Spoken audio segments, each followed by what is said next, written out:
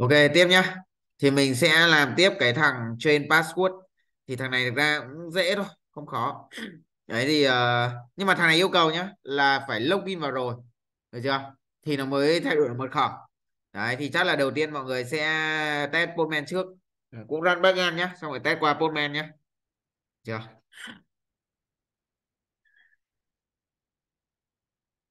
Rồi. Đây mọi người sẽ run qua thằng uh, thằng này này thì uh, đầu tiên login vào nhá. À mình đổi mật khẩu đúng không? 789 nhá. Được chưa? Ok chưa? Đấy sau đấy thì mọi người sẽ đổi mật khẩu. Thì mọi người sẽ vào thằng uh, gọi là thằng uh, train password đúng không? Đấy thì mọi người sẽ có method put. Đây là cái API đấy thì mọi người sẽ nhớ là cái này phải login vào rồi nhá. Để cho nó mới biết là nó đổi mật khẩu gì á. Đấy sau đấy thì mọi người sẽ đổi mật khẩu uh, cũ là gì đấy, mật khẩu mới đúng không? Điền mật khẩu cũ và mật khẩu mới đây này. Đúng chưa? Đấy. sau đấy thì mọi người đổi mật khẩu thôi. Ví dụ mật khẩu mới là mật khẩu cũ là một hai bốn năm sáu bảy tám chín. Mọi người đổi lên là ờ, một hai bốn năm sáu thôi được chưa? Đấy. Bấm uh, send. Ồ. Sao nhỉ? một hai bốn năm sáu bảy tám chín này một hai bốn năm sáu này. Ok mà nhỉ? Login vào nào? Đúng không đúng không? Một hai bốn năm sáu bảy tám chín. Đấy sau đấy thì mọi người sẽ đổi mật khẩu này. Đấy và sau đấy thì uh, có token rồi mà đúng không? Xem là token ở đây nè có đúng kia không? Đúng token luôn đúng không? Đổi mật khẩu.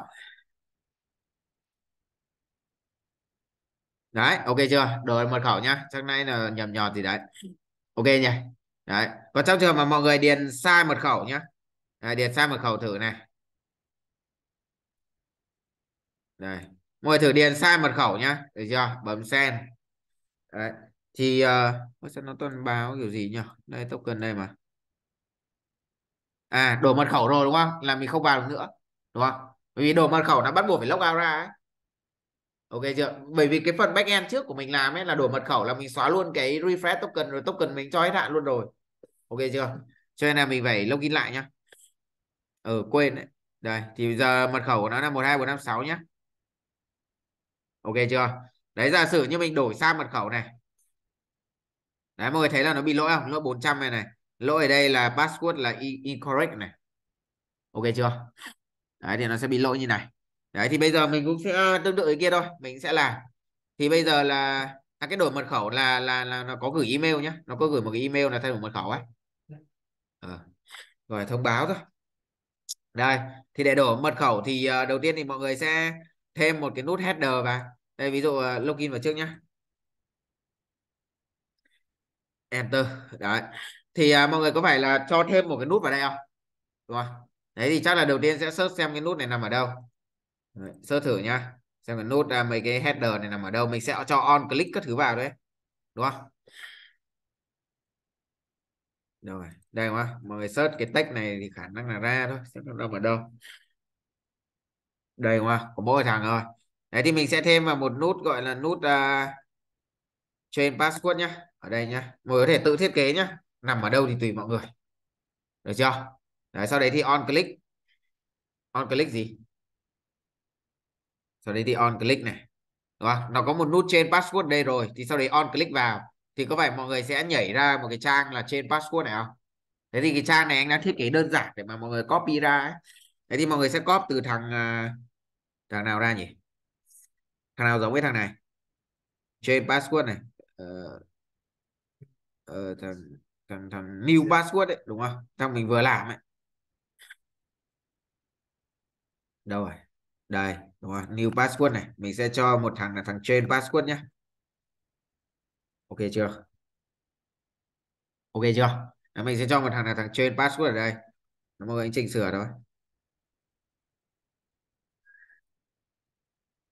change password các thứ này.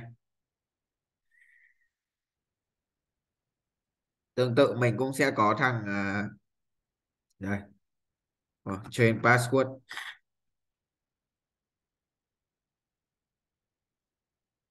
Ok chưa?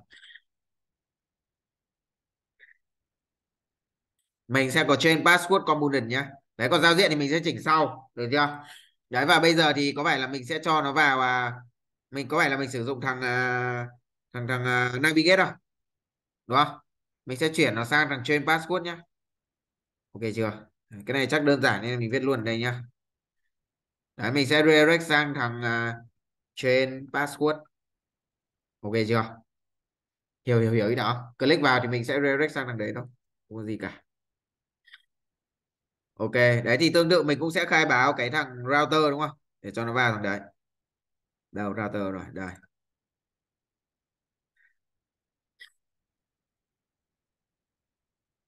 ô đâu nhỉ? Đây. Đấy, mình sẽ cho một thằng gọi là thằng train password ở đây. Đấy, chỗ này nó sẽ là thằng uh, nó nằm ở thằng này đúng không? Rồi train password này. Đây nhá được chưa? Đấy, sau đấy thì mọi người cũng làm tương tự thôi. Ra từ tương tự. Đường link của mình cũng sẽ là out xong rồi trên password đúng không? Đúng không? Đấy, thiết kế là giống không đấy thì mình cũng sẽ redirect sang đằng trên password nhá. Ok chưa? Nhớ thiết kế đúng đường link. Đấy thì nó sẽ nhảy vào được component này đúng không? Những cái này mình tắt đi nhá. Đấy nó sẽ nhảy. Đây nhá xem thử xem nào. Rồi nó có đằng trên password rồi này đấy thì nó sẽ bấm vào cái thì nó có phải nó nhảy vào trang này không? Rồi thì mình cũng sẽ đi thiết kế cái trang này thôi cho giống thằng này. Trên password này enter your new password. Thì ở đây mình ờ, uh, change password rồi này mình sẽ có thằng change password component ở đây. Đây đúng không? Thay vào này. Đấy, mình cũng sẽ có thằng ờ, uh, change password ở đây đúng không? Đây thằng này sẽ là change password này. Uh, username thì xóa đi này rồi mình sẽ có à, đầu tiên như này đã này đúng không? Sau đấy thì à, sẽ chỉnh sửa giao diện này. Đây giao diện của thằng này nó sẽ là trên password này. Ngồi làm kiểu theo cái theme thiết kế nó khá là giống nhau ấy.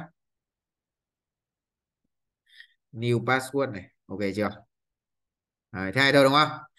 Đấy sau rồi cái form mình có những cái gì? Old password new password và confirm. À, rồi chỗ này mình sẽ có init cái form nhá thì uh, chắc là copy nhá. Copy cho nhá. Viết nó hơi lâu. Đâu mình sẽ vào component này. Out này. Đấy, copy nhá. Rồi ok chưa? Đấy, sau đấy thì mình cũng uh, validate thôi. Có cả nhá. Mình sẽ hướng dẫn mọi người. Đây thì uh, cái uh, gọi là cái new password với lại cái confirm new password thì nó vẫn thế thôi. Được chưa? Đấy nhớ là cái key của mình giờ đổi thành new password nhé và confirm new password. Ok chưa?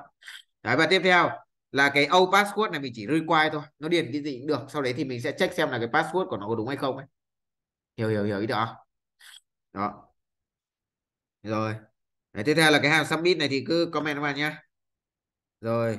Đấy tiếp theo là thằng uh, old password này đấy, chắc là cũng copy luôn nhá. Xóa nha đây thì đây là cái old password này. Đấy, copy hết luôn nhá. Uh, new password này. Rồi confirm new password này. Thế thôi. Đây đúng không? Giao diện thôi đổi thôi. Ủa, có thiếu cái gì mà lỗi khiếp này? Form group đúng không?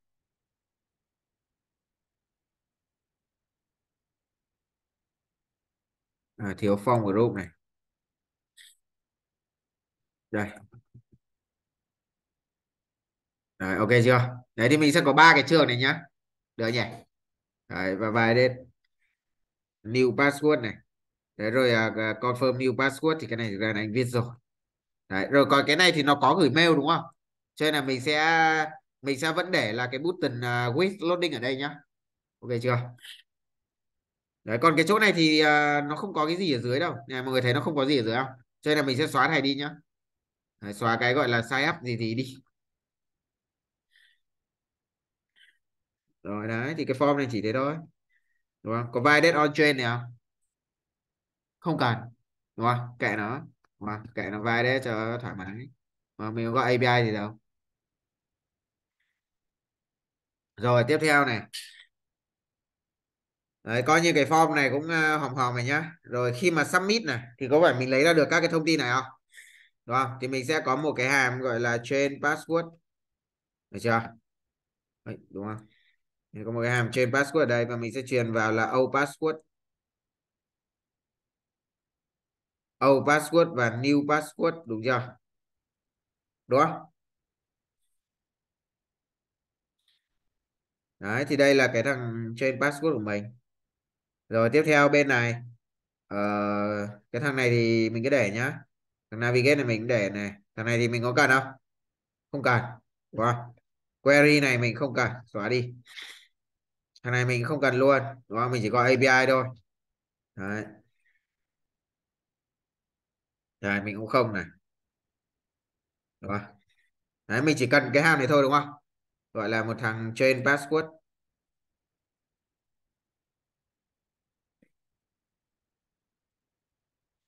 Đấy, train password thì thôi. Đúng không? Đấy và nó nhận vào cái gì? Nó nhận vào old password này. Đúng không? Đấy và new password. Đúng chưa? Nó nhận vào đúng hai này thôi đấy, và sau đấy thì mọi người sẽ gọi thằng uh, train password đi. Đó và nó có old password và new password. Ờ, có phải truyền token không? Nó phải truyền token nữa chứ nhỉ? Đúng không? Đây xem. Nó truyền những cái gì? Nó truyền old password này new password đúng không? Và cái token thì nó đính kèm vào trong cái thằng này rồi đúng chưa? Đấy cho nên là trong thằng à, thằng thằng à, API này, này. Đấy, trong thằng API này nhá. Đấy thì mình chỉ cần gọi là khai báo thêm một thằng uh, auto API đúng không? Đấy. Là để để để cho nó gọi là lấy ra thằng token á. Đấy, để cho nó sau này nó gửi thì tự động nó lấy thằng token này ra. Ok chưa? Đấy. Rồi tiếp theo thì uh, copy tương tự thôi. Method là put đúng không? Copy ở đây nha gọi là chain password đúng chưa? Đấy thì mình sẽ có những cái thông tin như kiểu là old password này new password. Đấy, coi vào. Đây old password này new password này. Đấy, sau đấy thì chỗ này. Đây old password này. Đấy rồi new password này tương tự đúng không? Đấy. đây là cái body nhá rồi sau đấy là method thì là gì? Put này đúng không? Rồi body thì đính kèm rồi này. Đây là cái đường link đúng chưa? Đấy. zip này rồi. Đây là cái đường link chuẩn chưa? Body đính kèm đây method là put chuẩn chưa? À ừ đấy cái chỗ này nó phải là auto API nhá này, bảo lỗi đúng không? Đấy. ok nhỉ? Được rồi chứ đúng không? Đấy thì đây là chain password. Đây là chain password này. Rồi sau khi ờ, uh, chain password uh, ok mấy cái này xóa nhá. Đấy trường hợp thành công trường hợp thành công chưa đi thì có phải là show notify không? Là chain password thành công. Sau đấy thì có phải là à, uh, kiểu như là ra say nào đấy và một cái nữa nhá mọi người sẽ phải remove những cái mà liên quan đến uh, để remove cái uh, gì nhỉ? Remove cái storage đi được chưa? Tại sao lại phải remove? Bởi vì là thằng này lúc đấy nó đang login rồi. Được chưa? Bây giờ mình log out ra đúng không? Mình login ra đúng không? Chứ phải mình sẽ xóa thằng này cập nhật lại Redux không? Đấy. thì thực ra nó giống như cái hàm log out của mọi người ấy. Đây này. Đây, mọi người có thể xem thằng log out này đấy nó giống easy cái thằng log out này để remove storage đi này refresh token và redirect sang trang sign ok chưa? Rồi để có đấy đương nhiên là trước đấy mình sẽ show cái notify này lên. Đúng chưa? Đấy xong rồi remove những cái thằng này đi. Đấy thì ở đây là xóa thông tin đi. À nhớ import thằng storage này vào nhé. Ok chưa? Đấy xong rồi à, uh, redux đúng không? Redux là refresh à? Gì gì đấy đúng không? Đấy thì mình sẽ copy từ này. Ôi nhàn thế nhở? Làm xong này. Viết trước ở khác nhàn thế đúng chưa? State này mình có cần không? Không đúng không? Để null ok chưa? Đấy và mình uh, connect này. Connect là của react redux nhá. Sau đấy là cái hàm này này mình import vào. Ồ không import được à? thằng này. Đây chắc là mình lại copy nhá. Đây đúng không?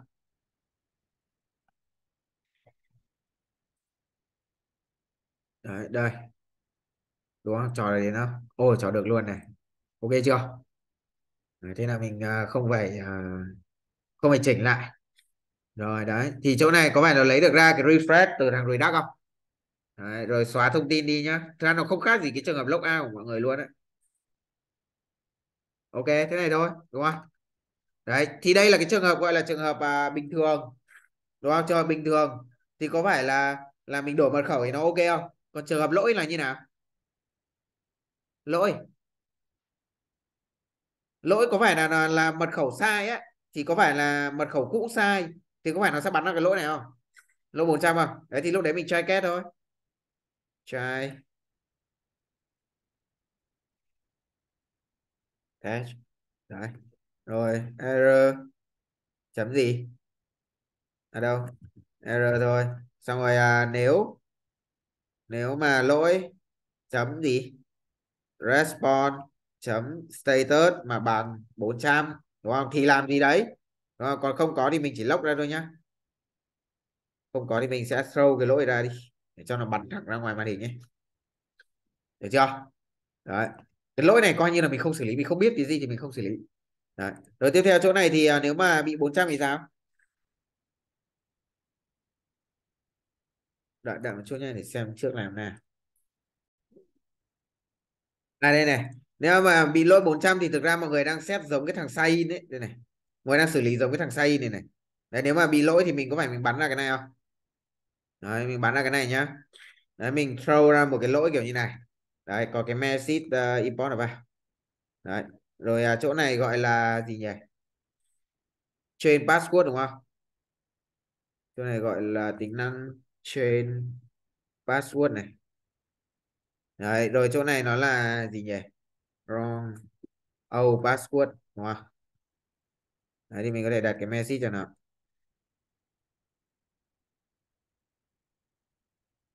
Uh, oh password is incorrect nhá. Ok chưa? Chấm than cái cho đi được chưa? Đấy, sau đấy thì mình sẽ bắn ra một cái lỗi này đúng không? Có phải bị lỗi 400 là mình bắn ra lỗi này không? Đấy, sau đấy thì mọi người sẽ try kết ở bên này. Rồi. Mọi người sẽ, bên này gọi này. Thì có phải là bên này trả lời không? Đây, có phải bên này à, try kết không? Bên này cũng có thể là gặp lỗi. Đấy, thì mọi người có thể try kết. Đấy, để mình bắn sang bên này nhé.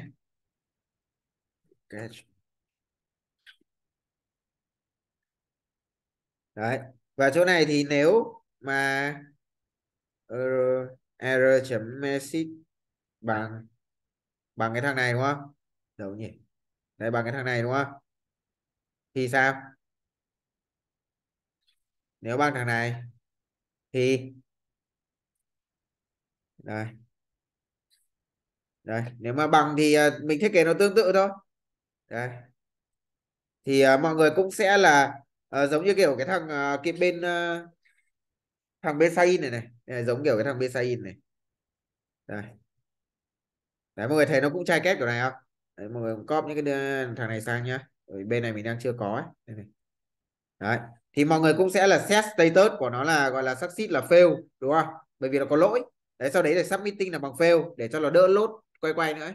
đấy và sau đấy thì là mọi người set cái fill là fill uh, old password là bị lỗi được chưa? Hiểu hiểu hiểu ý đó.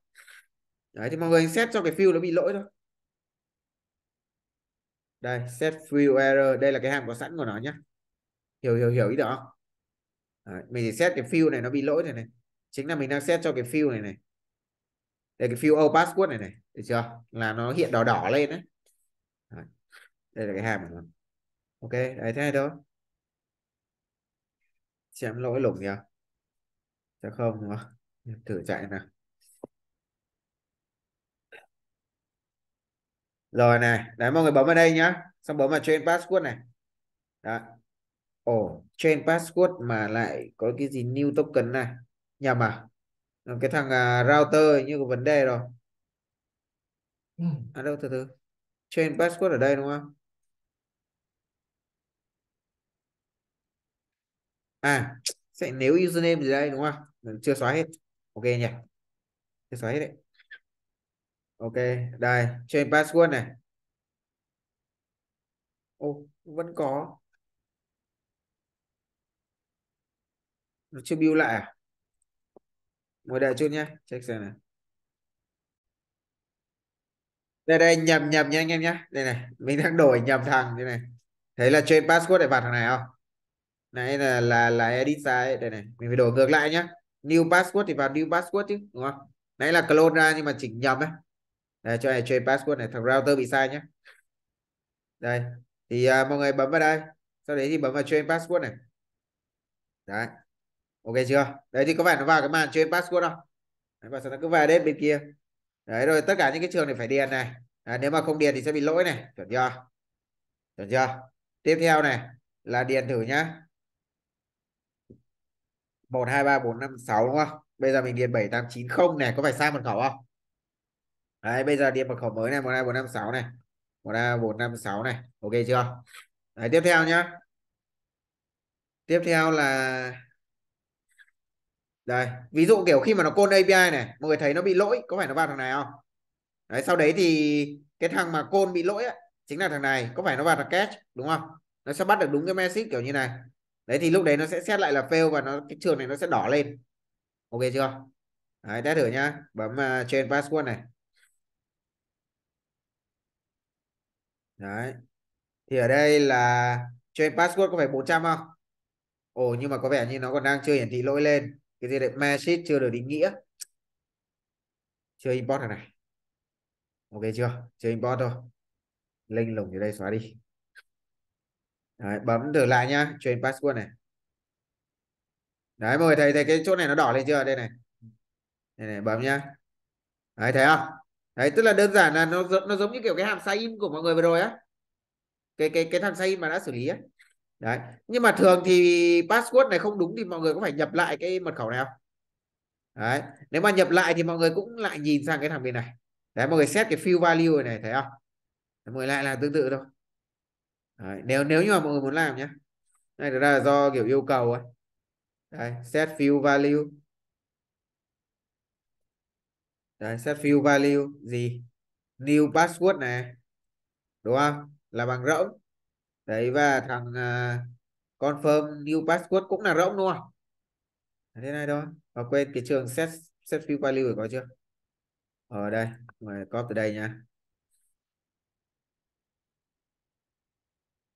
đây đấy lại nhá ồ oh, set field value gì đây? Ồ, cái gì đây? Từ từ nhá. Lỗi gì đây?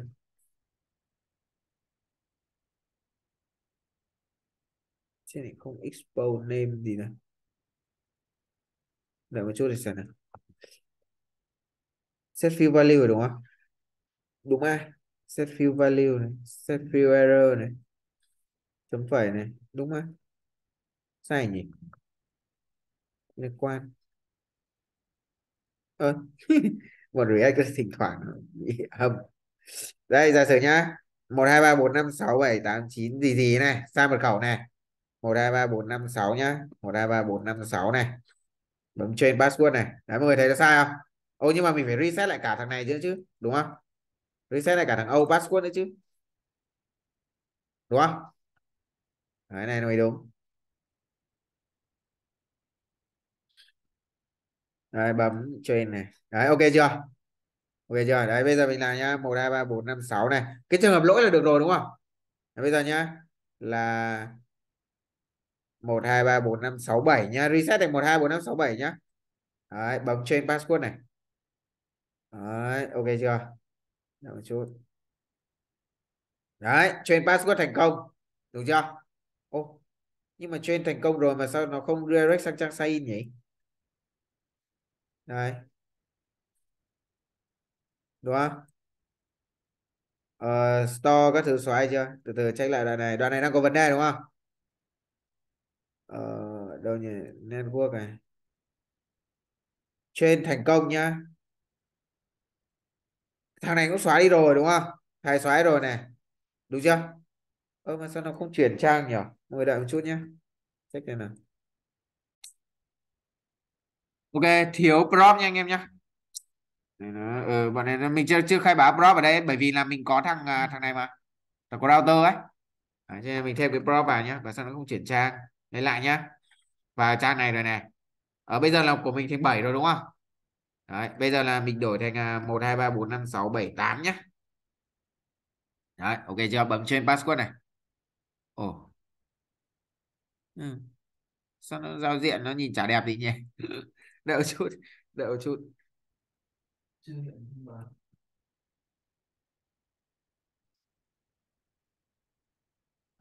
Một hai ba bốn năm sáu bảy này. Ờ tức là nó còn chưa đổi được cơ.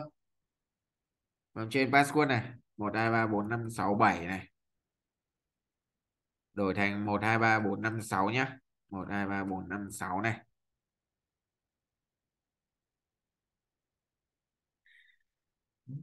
Ừ. lại chạy ok đúng không? Đúng không nhỉ? Chạy ok.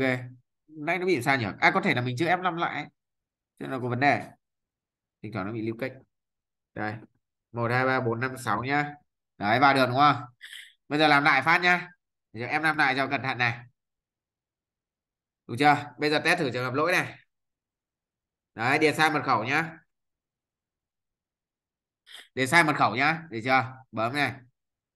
Đấy ok chưa? Tiếp theo nhá là một hai ba bốn năm sáu sáu đúng không? Sáu bảy hay là sáu nhỉ? Sáu đúng không? Một hai ba bốn năm sáu bảy tám chín này. Đấy, điền đúng mật khẩu nhá. Đấy bấm trên này. Đấy ok chưa? Ok chưa? Đúng không?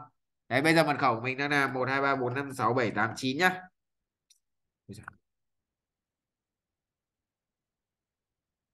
Đấy ok chưa? Đấy là mình vào được thành công này. Đấy và đi kèm thì nó cũng sẽ có gửi mail nhé cái mail này là từ backend nó bắn thôi. Mọi hiểu hiểu cho em không? Đấy, cái mail từ backend nó bắn thôi chứ nó không liên quan gì cái phần frontend cả. Ok chưa? Đấy, sau này mọi người có thể thiết kế những cái trang mail nhìn nó đẹp hơn. Chứ ở đây là chỉ có mỗi cái text thôi đấy thì cái trang thực ra cái trang uh, gọi là là train password này thì nó không có gì cả. Không có gì cả. Đấy mọi người phải validate các thứ thôi. Vẫn như bình thường thôi. Đấy, có điều là mọi người sẽ phải xử lý những cái kiểu như khi mà đổi mật khẩu kiểu nó bị sai mật khẩu ấy thì nó sẽ như này đấy. ok. Đấy mọi người có thể xem qua nhé